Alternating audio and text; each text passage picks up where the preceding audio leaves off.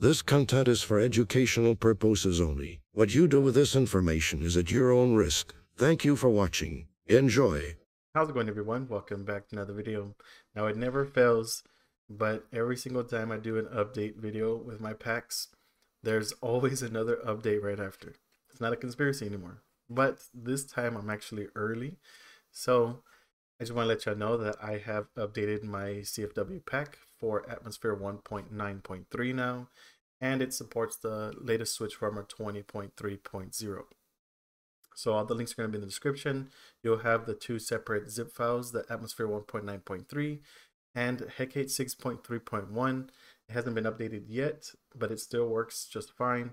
And if there is any type of updates, I'll have the update um, on my GitHub and you can download that as well as my modified version of the AIO Switch Updater app. I've updated the links there as well.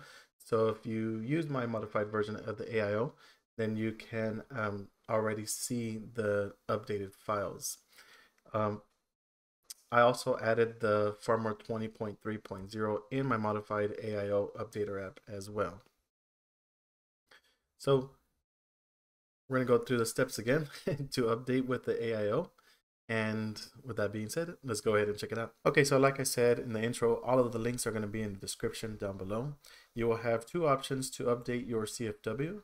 You can do the option where you download both of my pre-made zip packs, the other side AMS 1.9.3 and Hekate 6.3.1, and update your SD card manually from the PC, or you have the option of using my modified version of the AIO Switch Updater app, and you can update to my packs directly from the switch. So we're going to be using this, the AIO Switch Updater app for this video. But if you're interested in a separate video where I update the SD card manually, I can do that as well. Just let me know in the comments below. All right, so that's pretty much it. Let's go ahead and get started. Okay, so before we get started, those of you that already have my modified version of the Updater app, you do not need to follow this part. This is for those that do not have it yet. And with that, we can go ahead and continue with downloading this one zip for today. So if you look in the description down below, you should look for the link that says click here to download the other side AIO switch updater. And once you click on the link, it should take you to my GitHub page and then scroll down to the assets area and click on that link to start the download process. But after you're done, you can have it moved to the desktop. And then now we can open up the SD card. Now your SD card has to have CFW already in order for you to be able to access the app and if you don't, then you would most likely need to do the manual option of adding uh, the updated pack on your own, but that's a separate video. So with that, it doesn't matter how you open up your SD card as long as you're able to transfer your files successfully. I always use Hekate SD card tools and I really recommend that. Never have any issues, but it's up to you. Just be careful. Now that we have the SD card open and the file downloaded, we can use our zipping software to extract. I always use 7-zip, never have any issues with it. And if you want to follow along with me, I'll have a download link to that as well. But with 7-zip, I'm going to open the archive. And here we have just a switch folder. So make sure that you're in the root of your SD card and then just extract it to the empty space of your SD card, just so that way you don't accidentally put it inside the folder. And there you go. Now it's telling me to replace because I already have it but that's pretty much it. Now we should be able to go onto the Switch and try it out. But, you know, just a disclaimer, those of you that are on a firmware that's lower than 17.00, this app might not work for you. You can still try it out if you'd like. But if it does not work for you and then you're not able to access your CFW no more, it's not broken. All you need to do is just uh, update it manually. So let me know if that happens to you, and then I can try and help you out. Leave a comment down below on that. But otherwise, we're done with the SD card. Let's go ahead and try it out on the Switch. Okay, so here on the Switch, before we do anything else, I want to show you all real quick that I am on a lower Switch firmware. So if I go down to my system settings, you can see that I'm on the current version 20.1.5 with Atmosphere 1.9.2. I like to do this reference because as we go along together and do all the updates, I like to come back and show y'all that we should be updated to the firmware 20.3.0 and Atmosphere 1.9.3. And just letting you know that even though I'm up updating the firmware as well, there is no need to update the firmware But I just do that because it's an option that I have on this video. So if you want to just update Atmosphere, that would be up to you. But we're going to update both the firmware and Atmosphere as well. So with that being said, let's go ahead and continue. And the next thing that we need to do is make sure that we have an internet connection already established. So you see above my head, I have my Wi-Fi internet connected. And the last thing that I recommend is using HB menu without applet mode. So if you don't know what I'm talking about, if you go into album alone, you enter the HB menu with those big red letters that says applet mode on the top of the screen. And here, I don't recommend using the app because you're not using the full power of the switch. So it would be best to use um, a title override or HB menu without applet mode. So there's two options that you can do with that. You can do a forwarder like I have here for the HB menu that enters without applet mode, or you can do a title override. And a title override means that if you have an installed title that you already have on your switch, you can hold down the right shoulder button, keep holding it down and enter your title. And if done correctly, keep holding it in and you'll enter the HB menu without mode. So this is where you want to use the app. So you have those two options. I'm going to be using my folder because it just supports the channel. So it does the same thing without mode. But so if you have everything like that uh, good to go, then we can navigate to the app and you'll know that it's my modified version because it says the other side AIO switch updater. There are two versions, the original from the dev and the one I modified and there's nothing different from the one I modified. All the credit is still due to the dev. It's just I used I made this app to look for my packs on my GitHub. So just letting you know. But if you have internet connection, we can go ahead and enter it. So if everything goes well, you should be able to go to update atmosphere and see my uh, newest pack. So it should say the other side AMS 1.9.3.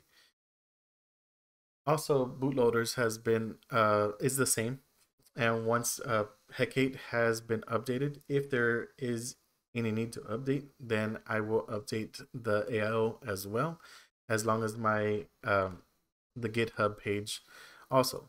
Download firmwares does have the firmware 20.3 if you're interested. And everything else does not work on this app. So you can have both the original and mine because the original keeps getting updated for other things.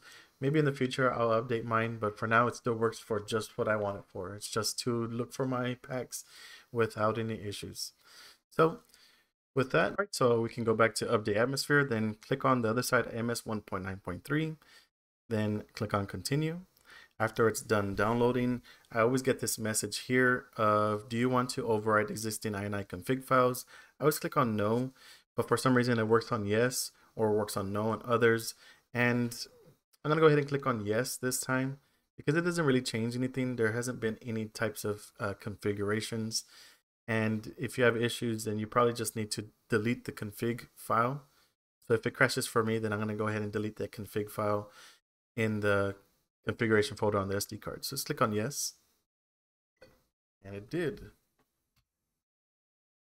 So we need to go back into the SD card. Okay, so this is where I'm having an issue, I believe. So if you go into the config file, you have the uh, all your configurations for multiple things that you used, but we have the AIO switch updater here.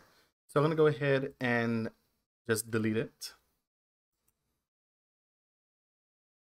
And then now we can go ahead and go back and try it out. So now that we're back here, we can go back into the HB menu. Make sure you have your internet connection. And okay, so we've deleted the config file. So now it's like it's a brand new AIO switch updater. Go back to update atmosphere, then click on atmosphere 1.9.3, then click on continue. And then here, do you want to overwrite? Just click on yes. Okay, so that worked out. Now it has this other option. It says you want to delete all the custom sys module startup flags. This will turn off all sys modules and prevent crashes. Go ahead and click on yes after that. After the extraction is done, it's going to ask you if you want to download Hekate and be up to you if you want to download Hekate. I know some people still use only Atmosphere without Hekate. So you can either click yes or no, but in this case, I'm going to click yes. So that way I can have the updated uh, um, Hekate as well. Do you want to overwrite the existing INI config files? Here you can click on yes.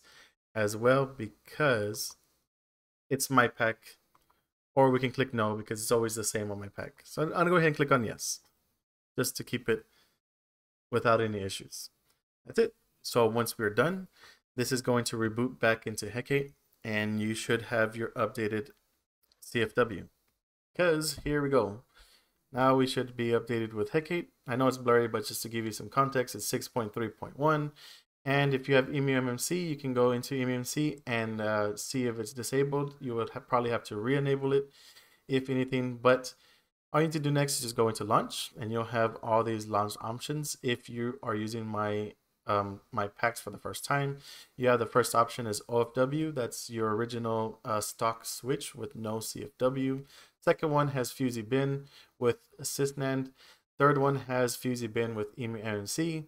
The fourth one has the package 3 updated from FSS0, as SysNAND, and package 3 EmuMMC. I have all these options because for some reason it works with Fusee Bin with for a lot, and for others it doesn't work, and vice versa. For some reason it only works for people with package 3. So I just added all of the options. They all do the same thing.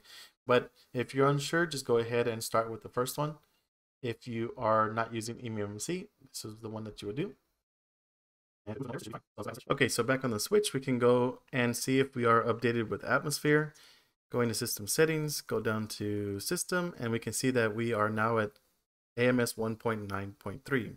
And I have an S because I'm using my CFW on SysNAND. If you have an E, because you're using yours on EmuMMC. But we still have the version of firmware at 20.1.5. And if you want to update, that's up to you. That's what we're going to do now. We're going to go back into the AIO Switch Updater and download the 20.3.0 and update with Daybreak. So let's go ahead and do that. Same principles apply. Make sure you have an established internet connection. Enter HB menu without applet mode. Go back into my modified version of the AIO Switch Updater. Now go down to download firmwares and then look locate the 20.3.0.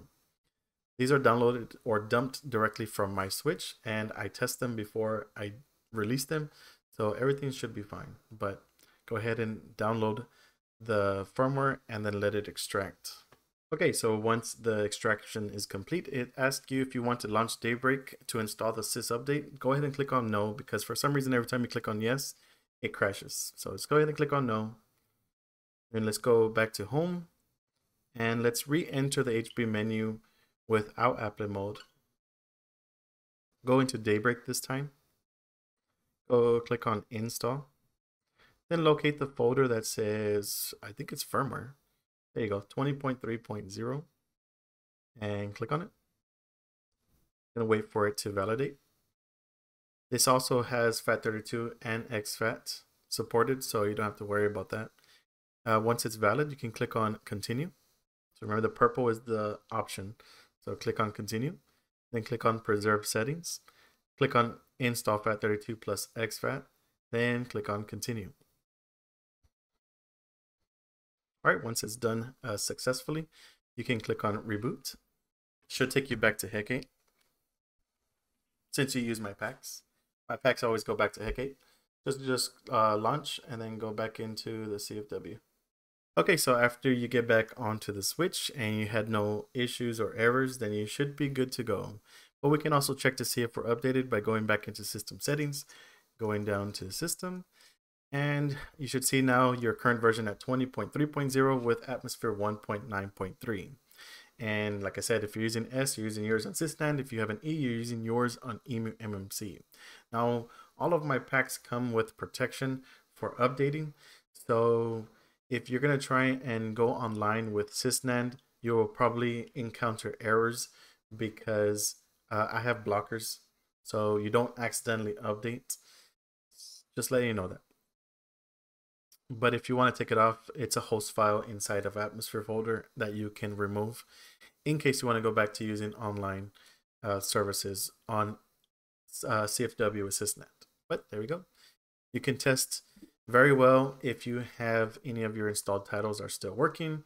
My best test is if you have any type of forwarders if forwarders are working, then everything should be working. So let's go ahead and enter it. And if it boots, then we are good.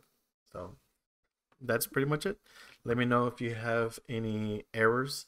you can leave a comment down below and I'll try and help you out as best as I can. Let me know if it does work for you and everything went smoothly. So like I said, if, if everything uh, works well, then you shouldn't have no issues.